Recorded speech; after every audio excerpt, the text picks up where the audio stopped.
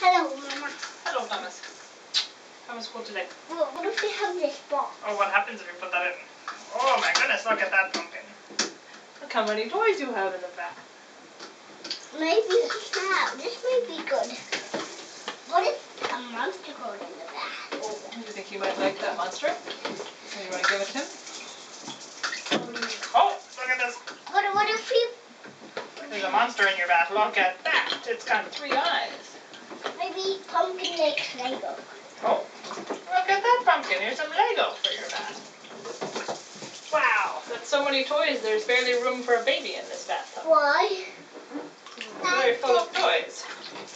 Mm, I want to play guy with chocolate. I want to play guy with chocolate. Okay. How about you, Pumpkin? Are you all done with this bathtub?